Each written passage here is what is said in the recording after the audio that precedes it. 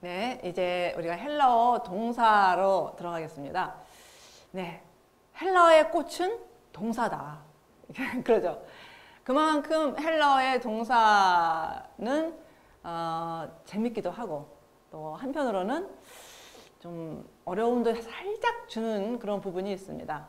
그래서 이제 그 비율을 한번 생각해 보면 명사편의 비율이 한 40% 정도, 3, 40%라고 생각한다면 동사는 한 6, 70% 가깝게 차지하죠.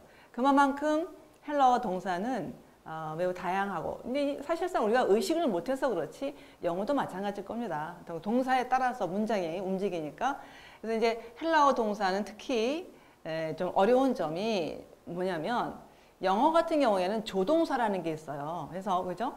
조동사가 있고 그렇게 변화무쌍하지는 않습니다. 그런데 헬라어 동사는 조동사가 없어요. 그러니까 동사 그 자체 하나로서 여러 가지 시제를 표현하기 때문에 그런 것들이 좀 어렵다 이렇게 생각하실 수가 있는데 일단 우리가 한번 들어가 보도록 하죠. 네. 기본적인 헬라어 동사는 어떻게 구성되어 있는가? 자, 스템이 있습니다. 스템, 어간이라고 하죠. 스템. 스템에는 그 동사의 뜻을 갖고 있다. 그런 얘기죠. 그 뒤에는 인칭 어미가 붙습니다. 인칭 어미. 그 인칭 어미에는 무엇이 있느냐? 여기서 보시는 것처럼 인칭과 수를 나타낸다. 즉 문법적 기능을 한다는 거죠. 자 여기까지 봤을 때 여러분들 뭐랑 좀 비슷하지 않습니까? 헬라어 명사하고 좀 비슷하죠. 헬라어 명사는 어떻게 구성됐다고 말씀드렸죠? 헬라어는 똑같죠. 스템이 있고 그 뒤에 어, 격어미, 그죠? 격어미, 격 어미가 붙죠. 동, 명사는 근데 동사는 인칭 어미가 붙죠. 어, 명사는 이 스템은 뜻을 갖고 있고 여기서 똑같이 뜻을 갖고 있죠. 근데 격 어미가 붙어서 이 명사가 주어진 문장에서 무슨 역할, 어떤 역할을 하는 주어냐, 아니면 뭐 역격이냐, 목적어냐, 대격이냐, 뭐 이런 역할을 가르쳐 주는 것. 그런 것이 격 어미의 역할이죠. 그랬다면 동사에 있어서는 이제 인칭 어미가 붙어요. 그래서 인칭과 수를 나타낸다는 거죠. 자, 예를 한번 들어보도록 하겠습니다. 루. 루라는 동사는 스템이에요. 스템. 여기는 뜻이 있습니다. 해방시키다, 풀어주다, 혹은 뭐 destroy, 그래서 뭐 파멸시키다 이런 뜻을 갖고 있다는 거죠. 자, 이것 가지고는 명사, 이, 이거 가지고는 문장 속에서 얘가 뭘 말하는지는 모를 거예요. 뒤에 인칭 어미가 붙어야 합니다. 오메가라는 인칭 어미가 있습니다. 오메가는 1인칭 단수를 나타내는 인칭 어미예요. 그래서 스템과 이 인칭 어미를 붙여서 루오라는 동사가 나오게 되죠. 뜻은 내가 풀어주다 이렇게 해석을 한다는 거죠. 그래서 뒤에 나오는 인칭 어미를 우리는 동사에서 잘 살펴봐야 되고 동시에 동시에 예, 또 우리가 더 살펴보겠지만 동시에 이 인칭 어미가 그, 동, 어, 그 문장의 주어를 나타내기 때문에 어떤 경우에는 굳이 주어를 안 나타내도 그 동사 하나로서 주어가 무엇인지를 알 수도 있습니다. 네, 그것을 잘 기억하면서 다음으로 넘어가도록 하죠. 네. 헬라어 직접, 아, 직설법 현재 능동태 동사 헬라어의 변화표를 우리 한번 살펴보도록 하죠. 가장 기본적이죠. 직설법 현재 능동태 동사의 변화표다. 그죠? 예, 아주 어, 기본적이고 또 우리가 기본적으로 또 알아야 되는 그런 어, 동사의 형태입니다. 자, 단수 1인칭 내가 뭐뭐 하다 할 때는 루오 오메가가 뒤에 붙는다는 거죠. 루오 그러면은 내가 풀어주다. 근데 λυ라고 하는 것은 stem, stem 똑같죠. 예, 여기, 여기 stem, stem 똑같죠. 근데 뒤에 λύεις라는 인칭 어미를 붙이면 2인칭 단수가 된다는 거예요. 그래서 뜻은 당신이 풀어주다. 이렇게 얘기를 한다는 거죠.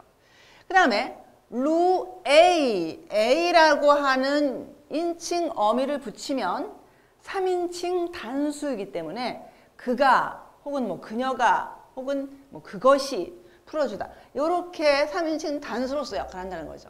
그래서 O, S, A가 능동태의 단수 3인칭까지의 1, 2, 3까지의 어, 인칭 어미입니다.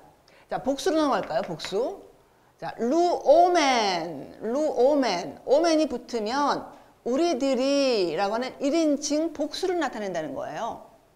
루에테, 루에테. 에테가 붙으면 2인칭 복수를 나타낸다. 그래서 뜻은 당신들이 풀어주다. 이렇게 해석을 하라. 그런 얘기죠. 그 다음에 루우시인, 우신, 우신이 붙으면 3인칭 복수를 얘기해요. 그래서 해석은 그들이 라고 해석을 해줘야 되죠. 네. 자, 아주 기본적이기 때문에 우리가 λύω, λύεις 한번 그렇게 한번 읽어볼까요? λύω, λύεις, λύει. 네, 복수. λύομεν, λύετε, λύουσιν. 여기서 이제 3인칭 복수에서 이 ν라는 것을 제가 이제 괄호를 표시했는데 어떤 경우에는 λύουσι만 나오고 또 어떤 경우에는 λύουσιν하고 ν가 같이 붙어서 나오죠. 뒤에 나오는 단어에 따라서 그렇죠. 뒤에 나오는 단어가 자음으로 시작한다. 그럼 루시 몸으로 시작하는 단어가 나온다. 루신. 근데 또, 또 거기에 딱 맞춰지진 않아요.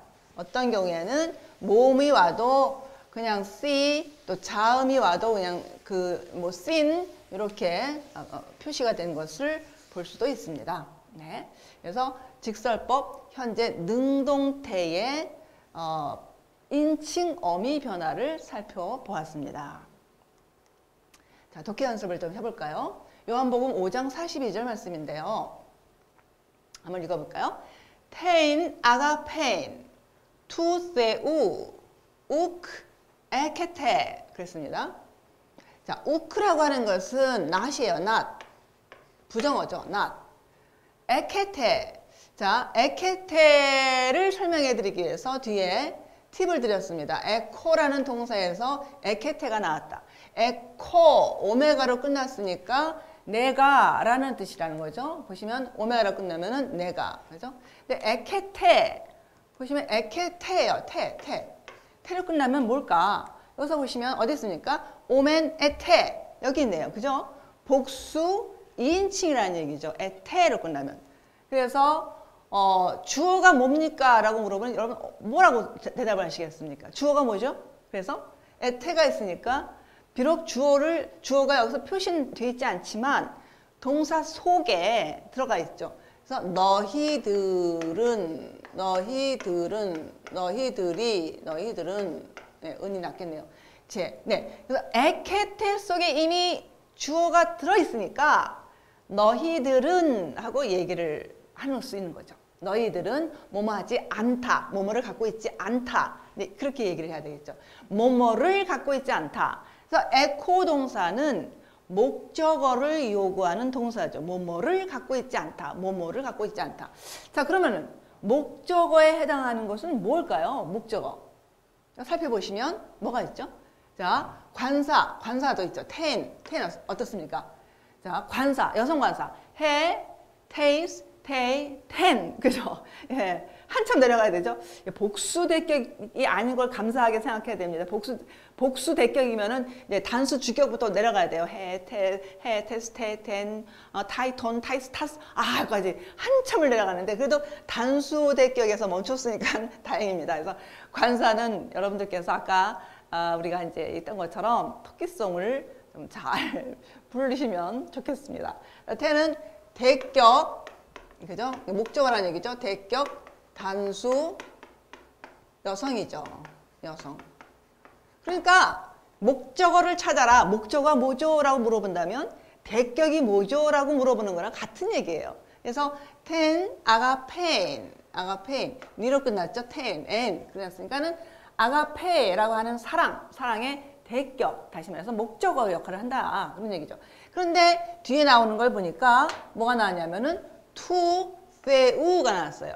ου로 끝났다. ου로 끝났다. 이것은 뭡니까? 속격 단수란 얘기죠. 속격 단수. 뭐뭐의 뭐뭐. 그래서 뭐뭐의 뭐뭐 이 뭐뭐는 이제 head noun이 되고 τοῦ θεοῦ 그러면 하나님의 사랑을 이렇게 얘기를 해줘야 되죠. 그래서 τήν ἀγάπην τοῦ θεοῦ를 한대 묶어주는 거죠. 왜냐하면 속격은 그 어, head noun을 꾸며주는 거니까 하나님의 사랑을 이렇게 얘기를 해줘라. 이제 그런 얘기죠. 그래서 붙여보면 너희들은 우리는 이제 목적을 먼저 봐야 되겠죠. 하나님의 사랑을 그 다음에 동사 갖고 있지 않다. 이렇게 얘기를 해야 되겠죠. 그래서 주어. 근데 이제 가장 중요한 것은 주어를 찾는 일이 중요하죠. 그리고 이제 그 주어를 찾기 위해서는 동사를 살펴봐야 되겠죠. 네. 어떠셨습니까? 머리가 좀 아프셨습니까? 네. 다음 시간에 더 자세히 공부를 하도록 하겠습니다. 감사합니다.